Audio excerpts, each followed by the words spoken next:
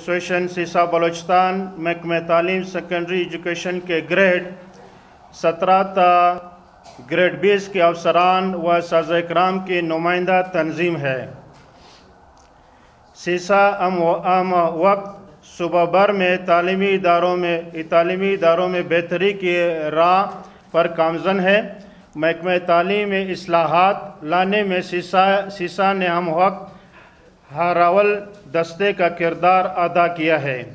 سیسا اپنے تعلیمی خدمات کے ساتھ ساتھ اپنے افسران اور اساتذہ کرام کے جائز حقوق، مسائل کے حل کے لیے بھی جید و جہد میں مصروب ہے۔ صبح بھر میں جہاں بھی گریڈ سترہ تا بیس کے افسران و اساتذہ کرام کو مسائل و مشکلات کا سامنا کرنا پڑ رہا ہے، سیسا بلوچستان ان مسائل کے حل میں ہمیشہ پیش پیش ہے۔ اور یہ جد و جہد مستقبل میں بھی جاری رہے گی۔ معزز صافی حضرات، محکمہ تعلیم کے افسران اور اساتذہ کرام اس وقت مختلف قسم کے مسائل کا شکار ہے آرٹیسم اور ای ایم آئی ایس کے نام پر انٹرنیشنل ادارے، سرکاری اسکولوں اور محکمہ تعلیم کے انتظامی معاملات میں مداخلت کر رہے ہیں۔ اور مخلوص اور مخلوص مخصوص ایجنڈے پر عمل پھیرا ہے۔ محکمہ تعلیم کے افسران کے اختیارات کو محدود کر کے district education group D A G کے نام پر ضلعی تعلیمی افسران کو سیکنڈری ایجوکیشن پر زبردستی مسلط کر دیا گیا ہے۔ محکمہ تعلیم میں بیرونی مداخلت کا یہ سلسلہ انتظامی افسران اور انٹرنیشنل اداروں کی جانب سے مختلف اشکال میں جاری ہے، جس کی وجہ سے محکمہ تعلیم ایجوکیشن کے افسران اس وقت مکمل طور پر یرغمال بن چکے ہیں اور محکمہ تعلیم کی کارکردگی روز بروز شدید متاثر ہو رہی ہے۔ ڈی جی اور ڈی ای کے نام پر تعلیمی اداروں اور تعلیمی دفاتر میں انتظامیہ اور انٹرنیشنل اداروں کو مداخلت کا جو موقع فراہم کیا گیا ہے، اس کی مثال کسی دوسرے ڈپارٹمنٹ میں نہیں ملتی ہے۔ صرف اور صرف محکمہ تعلیم ہی اس وقت زیر احتاب ہے۔ بیرونی مداخلت اور اثر سوخ کے استعمال کا معاملہ اس قدر گمبھیر ہو چکا ہے کہ اب تعلیمی افسران آزادانہ کام کرنے کے قابل نہیں رہے۔ روز ڈپٹی کمشنر اور کمشنر کے جانب سے شاہی فرمان آتے ہیں اور افسران دفتر کے کام نٹانے کی بجائے ہائے روز ان کے منہ تکتے رہتے ہیں۔ ہر وقت معمولی معمولی کاموں کے لیے تعلیمی افسران کو اپنے دفتر میں حاضری دینے پر مجبور کیا جاتا ہے اور اب تو نوعیت یہاں تک آ پہنچی ہے کہ باقاعدہ دھمکیوں اور ذلت امیز رویوں کے ذریعے تعلیمی افسران کو مرحوب کرنے کی کوشش کی جاتی ہے۔ گزشتہ روز ڈپٹی کمشنر کوئٹہ کے ضلعی تعلیمی افسر کو ڈی جی میٹنگ کے لیے اپنے دفتر میں بلایا۔ تمام امور بروقت نمٹانے کے باوجود ڈپٹی کمشنر نے تعلیمی ضلعی تعلیمی افسران اختر محمد کیتران کو اپنے ماتحد آفیسر اور آرٹیسم کے نمائندوں کے سامنے انتہائی ذلت آمیز انداز میں ذلت اندیز انداز میں منتخب وہ ہے بےزتی اور اخلاقی سے گری ہوئی باتیں کی گئی جس کے سبب ڈیو کوئٹہ کو مجبوراً میٹنگ چھوڑ چھوڑنا کرنا پڑا۔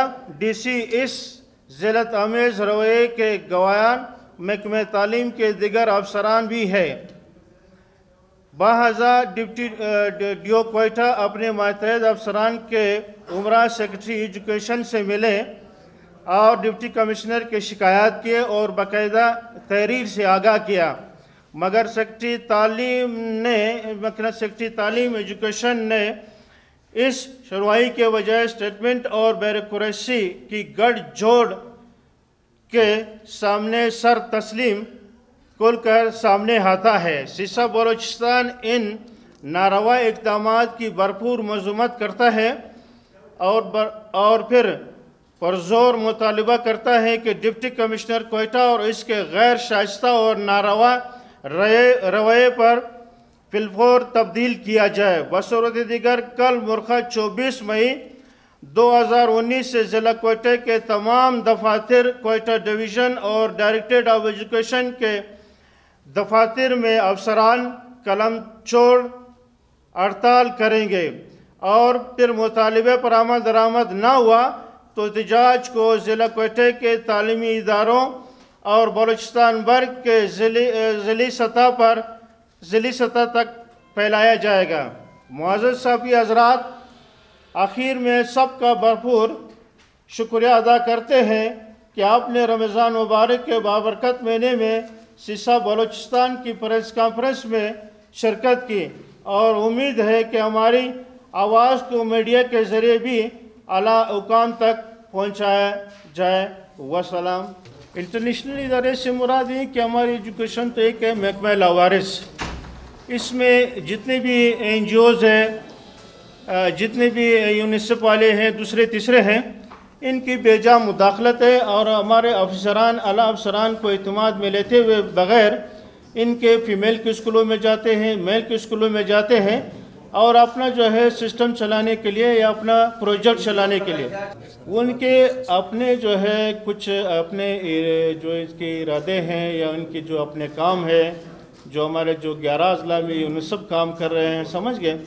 آج کل اس کے اربوں کروڑوں روپے کے پروجیکٹ خرچ ہو رہے ہیں اور ہمیں یہ بتا دے کہ کہاں کہاں ان کی جو ہے، ان کی وجہ سے کوالٹی ایجوکیشن آئی، یا ان نے کچھ تعمیرات کام کیے ہیں۔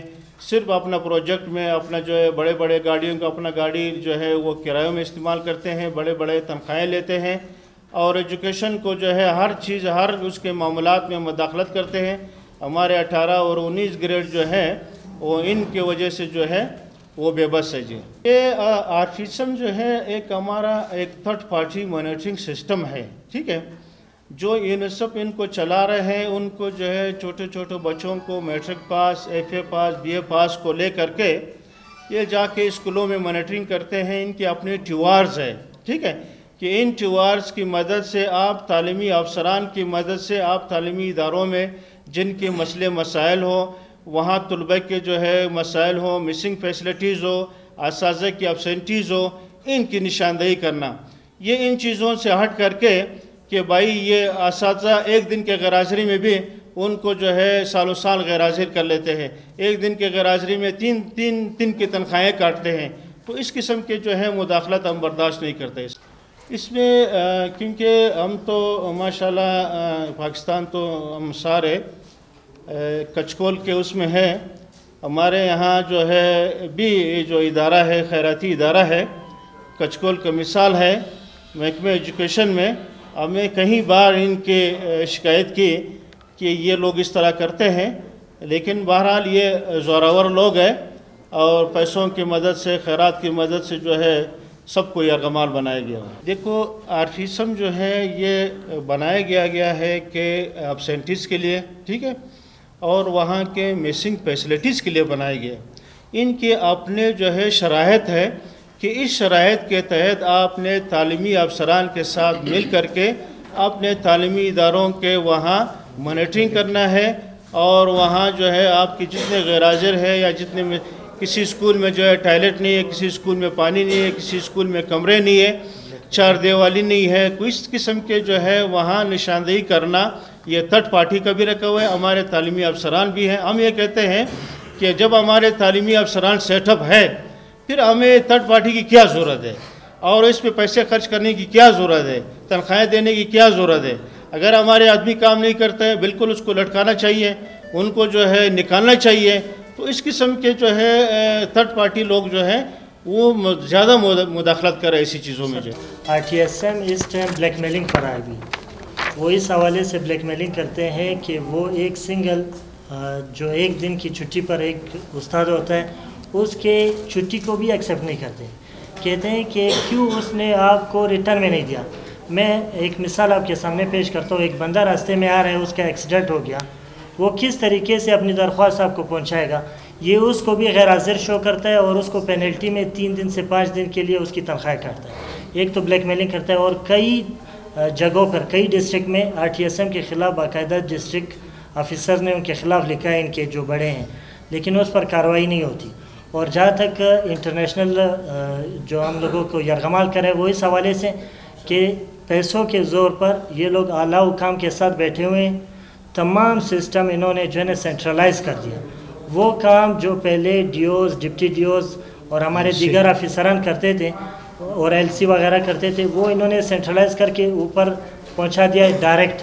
اس کا نقصان یہ ہو رہا ہے کہ ایک بندہ جو کبھی اتفاقاً چھٹی کرتا ہے اس کو بھی یہ لوگ جو ہے نا کرونک ایبسنٹیز میں ڈال دیتے ہیں۔